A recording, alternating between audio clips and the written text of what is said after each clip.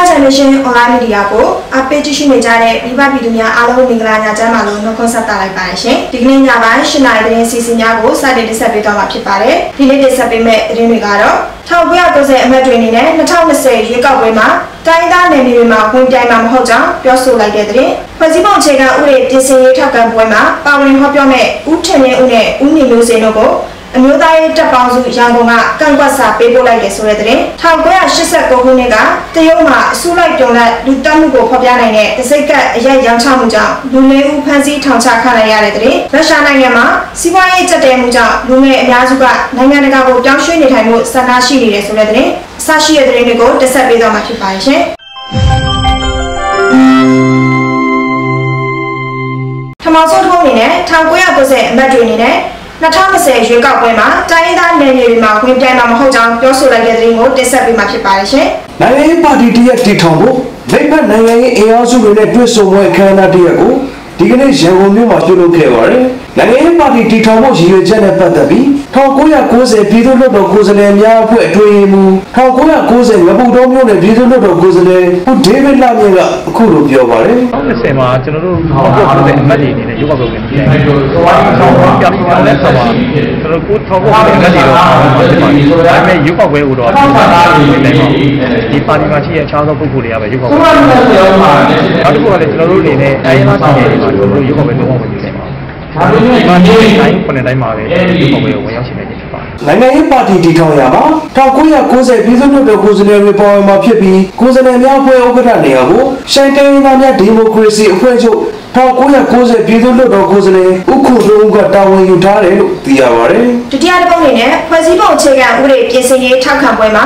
ပါဝင်ဟောပြောမဲ့ဦးထင်ရဲဦးနဲ့ဦးနေမျိုးစင်တို့ကိုအမျိုးသားရေးတပ်ပေါင်းစုရန်ကုန်ကကန့်ကွက်စာပေးပို့လိုက်တယ်ဆိုတဲ့သတင်းကိုတင်ဆက်ပေးမှာဖြစ်ပါတယ်ရှင်။ 2008ဖွဲ့စည်းပုံအခြေခံဥပဒေပြင်ဆင်ရေးထောက်ခံပွဲမှာပါဝင်ဟောပြောမဲ့ဦးထင်လင်းဦးနဲ့ဦးနေမျိုးစင်တို့ကိုဟောပြောခွင့်မပြုသင့်ကြောင်းအမျိုးသားရေးတပ်ပေါင်းစုရန်ကုန်ကဒီကနေ့မှာသက်ဆိုင်ရာဖွဲ့စည်းတီးတီးကိုကန့်ကွက်စာများပေးပို့ခဲ့ပါတယ်အများပြည်သူလူထုလည်းအကျိုးမရှိဘူးနိုင်ငံတော်ကြီးတာယာအေဂျင့်ရေးကိုဒါစုဘူးလုံဆောင်မှုဖြစ်အောင်လုပ်တဲ့ပုံကိုယ်တွေဖြစ်တဲ့အတွက်ကြောင့်ဦးဇင်းတို့ကကိုယ့်ဘာသာသာသနာနဲ့ကိုယ့်နိုင်ငံကိုယ့်လူမျိုးအတွက်အကျိုးရုံးမဲ့ဟာဒီဟောပြောနေတဲ့လှုပ်ဆောင်နေတဲ့ပုံကိုယ်တွေလို့ဦးဇင်းတို့က လည်းပြင်းပြင်းထန်ထန်ကန့်ကွက်ရှုတ်ချပါတယ်ဒီ2008ဖွဲ့စည်းပုံအခြေခံဥပဒေပြင်ဆင်ရေးဆိုပြီးတော့ထောက်ခံပွဲလုပ်နေတဲ့နေရာမှာအထင်လင်းဦးပါဝင်ဟောပြောမှုကိုကျွန်တော်တို့ဒီရုပ်ရှင်မြန်မာရန်တော်များသမဂ္ဂဆရာတော်တွေကထင်လင်းဦးရဲ့ဟောပြောမှုတွေဟာဘာသာသာသနာကိုစော်ကားဟောပြောမှုသူဖြစ်တဲ့အတွက်နားထောင်တဲ့ပြည်သူလူထုကအတူယူမှားမှာတွေနောက်တစ်ခါမလိုလားတဲ့စိုးကျိုးဖြစ်ပေါ်မှာတွေကိုစိုးရိမ်နေလက်ရှိအချိန်ခါမှာဒီလိုမျိုးဟောပြောပွဲမှာမလိုလားတဲ့ဆွမ်းထွက်တဲ့ဟောပြောမှုတွေပါဝင်လာခဲ့ရင်စိုးကျိုးတွေဖြစ်ပေါ်လာနိုင်တယ်လို့ ကျွန်တော်တို့မိန့်ကြားပါတယ်ဒါကြောင့်မို့လို့ကျွန်တော်တို့မျိုးသားတပ်ပေါင်းစုကဒီကောင်မောင်နှမတွေစုပေါင်းပြီးတော့ဒီနေ့နောက်ကန်ကွက်တာဖြစ်ပါတယ်နော်။တောင်းကလာကမြို့နယ်သူမင်္ဂလာပန်းညံမှာ2008ဖွဲ့စည်းပုံအခြေခံဥပဒေပြင်ဆင်ရေးထောက်ခံပွဲကိုဧပြီလ9ရက်နေ့မှာပြုလုပ်မှာဖြစ်ပြီးဒီဟောပြောပွဲမှာဦးထင်လင်းဦးနဲ့ဦးနေမျိုးစင်တို့ပါဝင်ဟောပြောမှာကိုကြားသိရတဲ့အတွက်ခုလိုကန့်ကွက်စာတင်တာဖြစ်တယ်လို့မျိုးသားရေးတပ်ပေါင်းစုရန်ကုန်ရဲ့ကန့်ကွက်စာမှာဖော်ပြထားပါတယ်။တတိယတစ်ပုတ်အနေနဲ့1989ခုနှစ်ကတရုတ်နိုင်ငံမှာ အစုလိုက်ပြုံလိုက်လူတက်မှုကိုဖော်ပြနိုင်တဲ့တစိတ်ကပ်အရက်ရောင်းချမှုကြောင့်လူလေးဦးဖမ်းဆီးထောင်ချခံလိုက်ရတယ်ဆိုတဲ့သတင်းကိုတင်ဆက်ပေးမှာဖြစ်ပါတယ်ရှင်။1989ခုနှစ်တုန်းက TMA မှာအစိုးရအပြုံနဲ့လူသက်မှုကိုဖော်ပြနိုင်တဲ့ဒစိမ့်ကတ်ထားတဲ့အရက်တွေရောင်းချမှုကြောင့်လူလေးကိုဖမ်းဆီးထောင်ချခံခဲ့ရပြီးဖြစ်ကြောင်းသိရပါတယ်။တရုတ်နိုင်ငံမှာ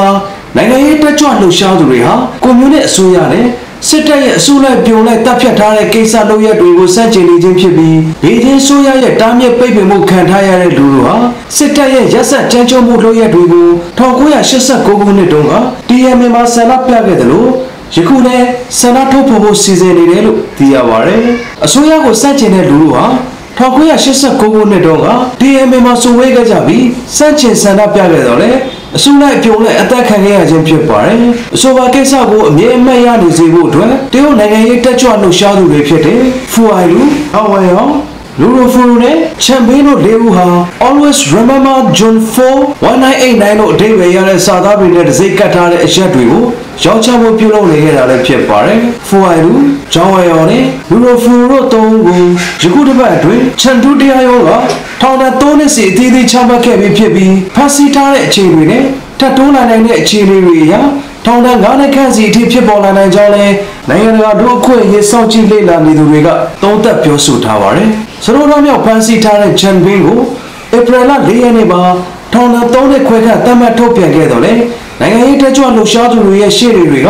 မိခိုးထုတ်မှုတွေကိုတော့ချင်းတူတရားရုံးကပြန်လည်ပြောဆိုမှုမရှိခဲ့ကြောင်းလည်းသိရပါတယ်။ DMA ရေးကိစ္စနဲ့ပတ်သက်ပြီးတရုတ်အစိုးရနဲ့ တရုတ်စစ်တပ်တွေဟာများစွာကြောင်ရုံလျက်ရှိနေပြီး DMA ကိစ္စကိုထုတ်ဖော်ဖို့လူစုလူဝေးစည်းရုံးခဲ့တယ်။ဟိုရှိကင်ကိုလည်းတရုတ်အစိုးရကထောင်နဲ့16နှစ်ချမှတ်ခဲ့ပူပါတယ်။နောက်ဆုံးပုံအနေနဲ့ ရုရှားနိုင်ငံမှာစီးပွားရေးကျက်တဲလာမှုကြောင့်လူငယ်အများစုကနိုင်ငံတကာကိုပြောင်းရွှေ့နေထိုင်မှုဆန္ဒရှိနေတယ်ဆိုတဲ့သတင်းကိုတင်ဆက်ပေးမှာဖြစ်ပါတယ်ရှင်။ရုရှားလူငယ်အများစုဟာနိုင်ငံတကာကိုရွှေ့ပြောင်းနေထိုင်လို့တဲ့စိတ်ဓာတ်ဖြစ်ပေါ်နေကြောင်းစစ်တမ်းတွေမှာဖော်ပြထားပါတယ်။ Gallup Poll ကုမ္ပဏီရဲ့စစ်တမ်းကောက်ယူမှုမဲခွဲရလဒ်တွေမှာရုရှားမှာရှိတဲ့အသက်15နှစ်ကအသက်29နှစ်အတွင်းရှိလူငယ်တွေဟာ၎င်းတို့နိုင်ငံရဲ့စီးပွားရေးအနေအထားတွေကိုနှစ်သက်ခြင်းမရှိတာကြောင့်ပြပကိုထွက်ခွာဖို့ဆန္ဒရှိနေကြောင်းလည်း သိရပါတယ်။အဆိုပါစစ်တမ်းတွေမှာ2018ခုနှစ်မှာစတင်တိုက်တာစစ်ဆေးမှုပြုလုပ်ခဲ့တာဖြစ်ပြီးရုရှားလူငယ်ပေါင်း2000ကျော်ကိုညနေချင်းဆိုင်အင်တာဗျူးစစ်ဆေးခြင်းတွေနဲ့တိကျတဲ့စစ်တမ်းတွေကောက်ယူခဲ့ခြင်းဖြစ်ကြောင်း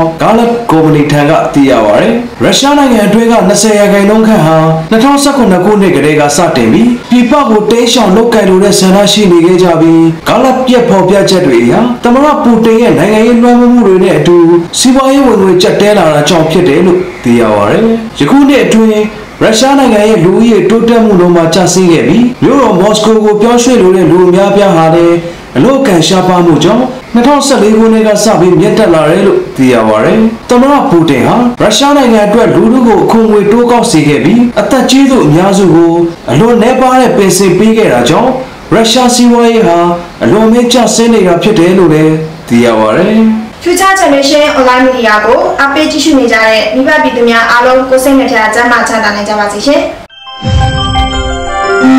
။